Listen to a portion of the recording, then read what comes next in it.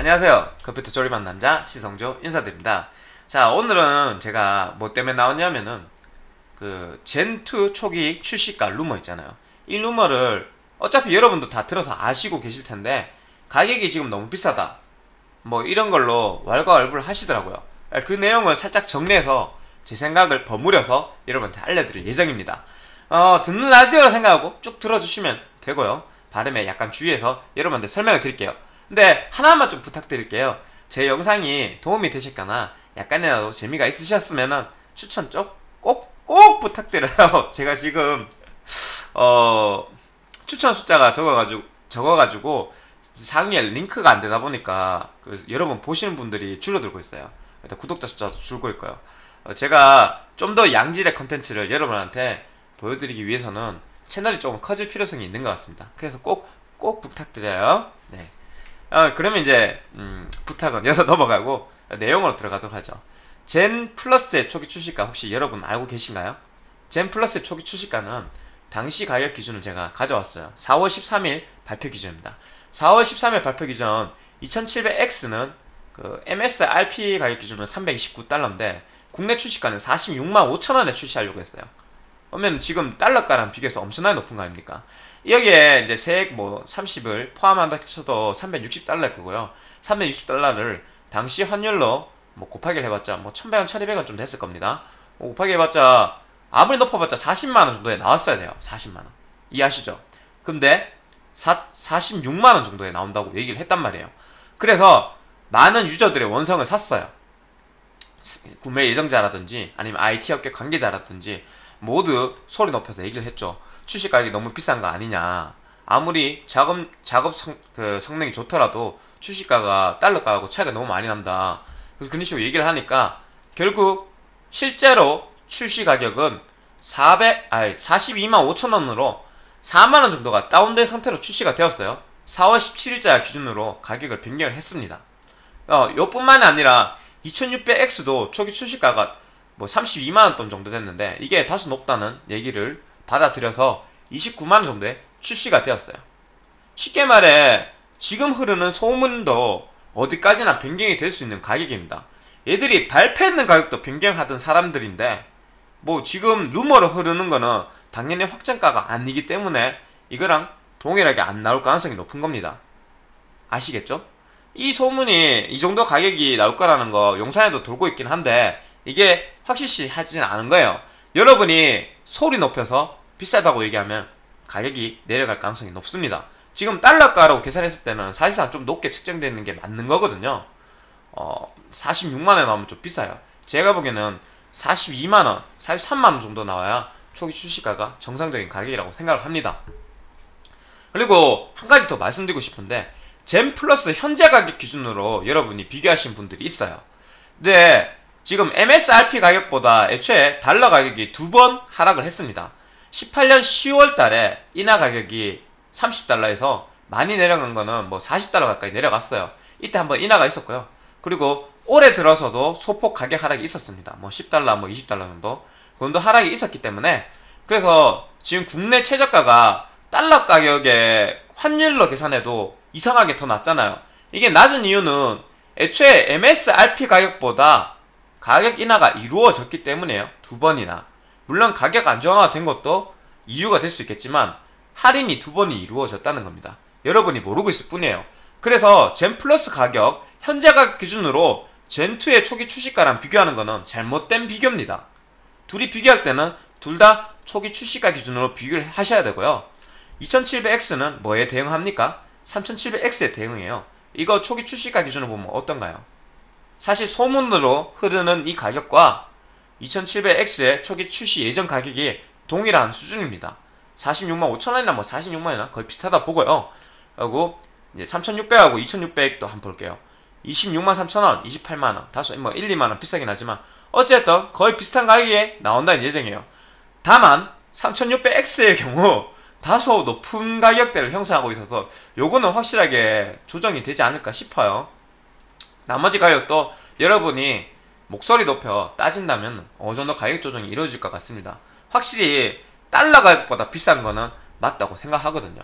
그러니까 MSRP 가격보다는 다소 비싸게 책정이 돼 있었고 하지만 이 초기 출시가가 젠 플러스 현재 가격과 비교하면 건 잘못되었다. 이게 어, 맞는 말이라고 봅니다. 출시가가 비싼 건 맞습니다. 비싼 건 맞지만 젠 플러스 현재 가격에 비교한 건 잘못되었다고 봅니다. 특히 그 저희 시청자 중에서 이런 얘기 하신 분 있어요. 야 2,600은 그 신선한데 2,600이 지금 15만 원, 16만 원밖에 안 하는데 3,600이 거의 30만 원대 돈에 가깝게 나오는 건 너무한 거 아닌가요? 라고 얘기를 하셨는데 사실 2,600도 처음 나올 때는 30만 원에 가까웠습니다. 26만 원이었어요. 처음 나올 때는 가까웠습니다. 예, 그걸 한번 다시 음 제가 주의시켜 드리고 사실 지금 초기 주식가는 젠플러스 젠플러스 초기가와 크게 차이가 없다라고 생각하시면 됩니다. 그러면 경쟁사 비교해서 여러분이 또 비교를 하잖아요. 경쟁사 얼마짜리 들고 와서 이거랑 비교했는데 3,600이 너무 비싸다. 특히 이 얘기를 하신 분 많아요. 9400F를 들고 오셔서 똑같은 6코어인데 3600이 너무 비싼 거 아닌가요? 근데 이거는 틀린 겁니다.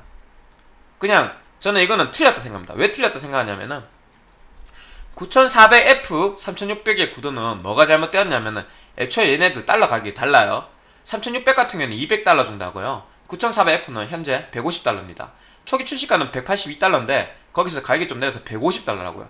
두개 얼마 차이 나요? 기본적으로 50달러 차이가 납니다. 이게 세액을 빼고 계산하더라도 우리나라 돈은 6만 이상이 차이가 난다는 겁니다. 같은 라인업이 아니에요. 애초에 저거랑 경쟁해라고 내놓은 것도 아니고요. 그럼 뭐랑 경쟁하려고 3600을 내놨을까요? 3600은 경쟁자가 9600 혹은 8700이 경쟁자입니다. 특히 제가 9600 가성비가 애매하다고 8600 벌커를 많이 추천하고 했었잖아요.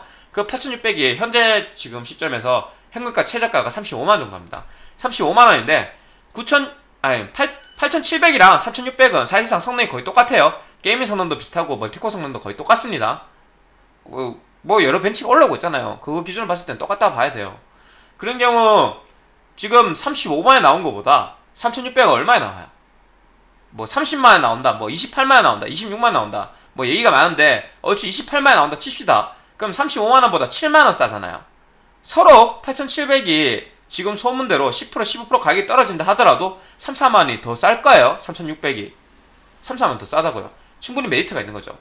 아니 비슷한 가격에 뭐 구형하고 비교하는 건 좀 그렇지 않나요? 얘기할 수가 있는데 3600은 B450 보드에도 적용이 가능하고요. 쉽게 말해서 8700하고 똑같이 그 B360에 8700 넣잖아요. B450에 3600을 넣을 수 있어요.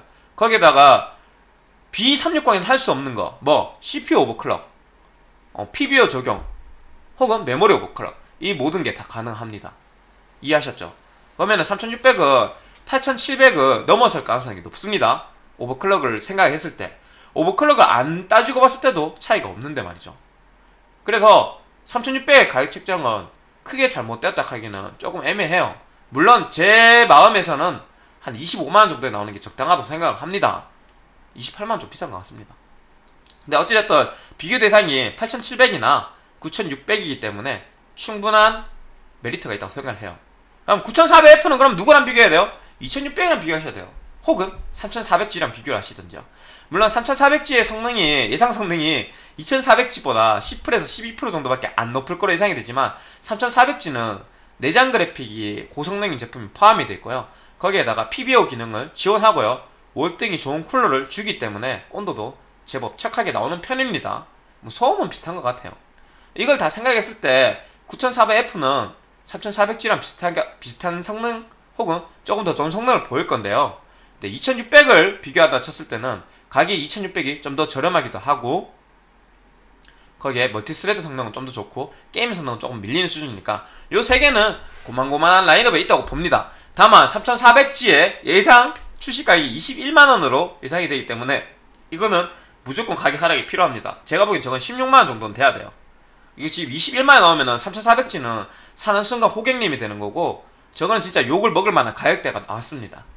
네, 제가 생각하기에 3600이 적당한 가격은 25만원이고 3400G의 적당한 가격은 16만원, 17만원 정도라 생각합니다. 일단 제 생각이에요. 출시가는 어떻게 될지 아직 잘 몰라요. 정확히 정해지지 않았습니다. 9700 vs 3700X라고 또 제가 밑에다 적어뒀죠.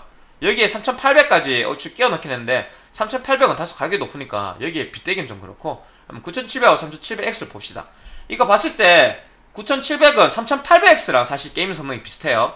그러니까 9700이 3700X보다는 게임 성능이 더 높다고 보시면 돼요. 다만 multi thread 성능 그러니까 우리가 작업 용도로 사용하거나 좀 뭐 다중 작업을 하거나 이럴 때 있잖아요. 그 게임을 하더라도 여러 게임을 실행시키거나 아니면 방송하면서 게임을 한다. 일단 3700이 월등히 높은 퍼포먼스를 보여줄 겁니다. 9700K 대비. 그럼 가격대를 한번 볼까요?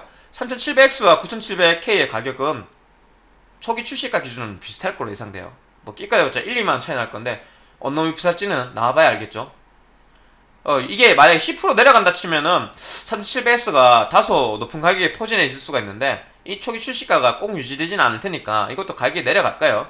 그 인텔이 경쟁에서 가격을 내리면 그래서 얘네 둘이는 적당한 대항마라 생각해요. 적절한 짝이에요. 서로 싸울 만한 경쟁할 만한 제품끼리에요. 가격이 저 가격에 나온다 쳐도 약간은 이해가 가는 가격. 근데 3800X는 이해가 가지 않습니다. 3800X 같은 경우에는 10만원 더 비싸게 출시될 걸로 예상이 되는데 사실 클럭 빼고는 크게 바뀌는 게 없거든요. 물론 쿨러가 바뀔 것 같긴 합니다만 아, 크게 메리트가 없는 것 같아요. 이해하셨죠? 그리고 3800X는 9900K의 비교 대상이기 때문에 가격이 10만원 더 높아도 괜찮지 않나요? 얘기하실 수가 있는데 제 생각에는 3700X를 사는 게 맞는 것 같습니다. 3800 볼 때는 3800은 저기서 한 그러니까 3700하고 가격이 한 5만원에서 7만원 사이 정도 될 정도로 좁혀져야 될 필요성이 있는 것 같습니다. 마지막으로 3900X를 볼게요. 3900X는 뭐 9900K랑 비교했을 때 gaming 성능도 밀리지 않고 multithread 성능은 게임도 안 될 정도 압도적으로 이깁니다. 예, 저 가격에 나온 게 이해가 돼요. 70만원에 나온다 하더라도 저는 욕할 가격이 아닙니다. 설령 80만원에 나온다 하더라도 아, 그럴 수 있겠지 하고 넘어갈 수 있는 수준이에요. 물론 달러 가격이 500달러니까 80만원 나오면 쌍용을 하겠죠? 쌍용을 하겠지만 어찌됐든 초기 출시가가 높은 게 이해는 간다고요. 요건 하겠지만 이해는 간다고. 이 얘기 뭔 얘기인지 대충 알겠죠? 그래서 오늘 지금 가격대를 대충 훑어봤는데 초기 출시가가 다소 높다 어 라고 생각하는 거는 뭐 비싸다고 생각하는 거는 틀리지 않다라고 봅니다. 초기, 초기 출시가는 늘 비쌌고 앞으로도 비쌀 가능성이 높습니다. 인텔은 AMD를 떠나서 늘 그랬어요. 저는 9700을 카드로 질렀는데 첫날 출시했을 때 약 60만원 가까이 썼습니다. 그 현금을 사신 분도 50 몇만 썼죠. 기억하시죠? 초기 출시가는 인텔 AMD 할 거 없습니다. 늘 비쌌고요.